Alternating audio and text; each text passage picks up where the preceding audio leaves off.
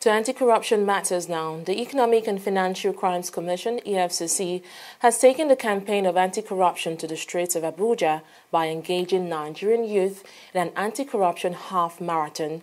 EFCC acting chairman Ibrahim Magu says the war against corruption is total and the commission is using every strategy to get Nigerians to understand the dangers of corruption and join in the fight.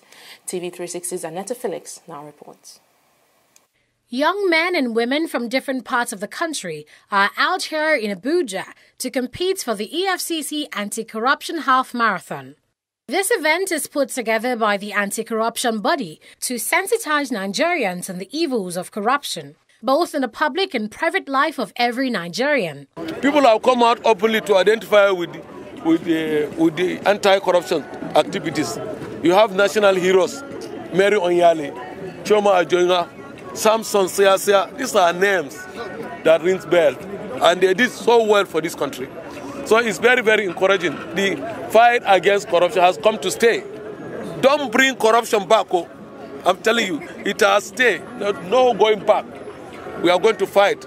And I want to call on you, all of you, everybody here, to join in the fight against corruption because that is the only thing we can do to save this, this country. Some of the winners at the event also share their views on the fight against corruption and what they want the governments to do about it. This type of competition is going to wipe out the corruption among youth because where corruption are most is among the youth.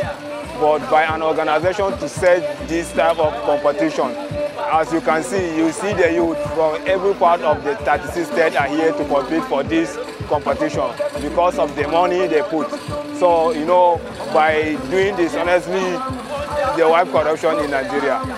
Once more, I'm saying kudos to anti-corruption because they do a wonderful job. The, the, the side effect of corruption in Nigeria is it disqualifies many people not doing anything because in the process of this corruption, maybe someone will intend to do something for people and people that he will get them to support him in doing it they are the ones that will also contribute in corrupting. EFCC says this marathon will be a regular feature to help keep youths out of crime and drugs and encourage them to be responsible.